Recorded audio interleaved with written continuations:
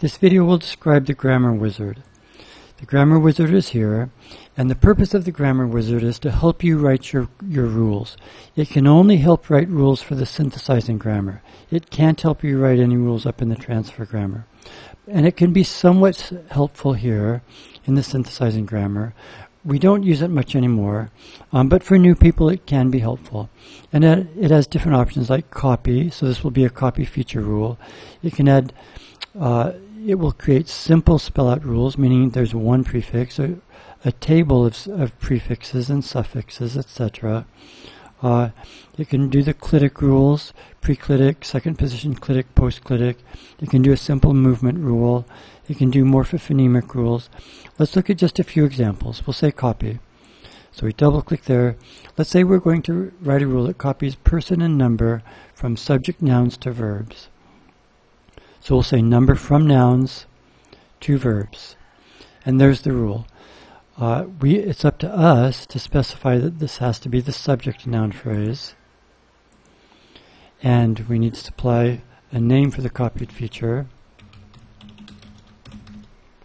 And we need to provide a group.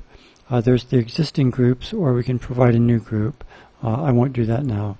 So it, it sets up the basics for you. If you want this to copy person as well, then you can. And you, you provide a name for uh, subject person or something like that. So that's the idea. It sets up a simple rule for you. Uh, let's look at another example. Uh, table by features means you specify two features, and one feature will be the rows, and the other feature will be the columns. I will say add suffixes. We'll call this gender for nouns and double click on the features to mark the rows. Let's say we want gender to be the rows and number to be the columns. So now it sets up a table for us with the number across the top and the gender values for the rows. And we provide, again, we select a group or add a new group and we have to finish filling out the rule. Uh, let's do one more. Let's do, uh, we can do a clitic rule. at a, add a preclitic. Uh, we'll say